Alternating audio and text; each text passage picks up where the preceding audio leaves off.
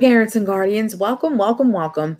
I really wish we were doing back to school and in person, but I know under the circumstance, everything seems virtual these days. I just wanted to introduce myself. My name is Gloria Micale. I'm going to be your child's Bridges literature teacher this year. We're going to have an amazing year. We're having an amazing year already so far. If your child is doing remote instruction or your child's doing instruction in school, either way, it really doesn't matter because we come together as a cohesive group. We work on our assignments together so this way we can get to where we need to be.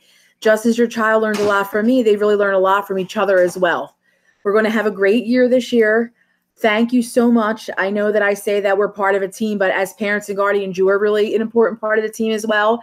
So thank you for all your support as always.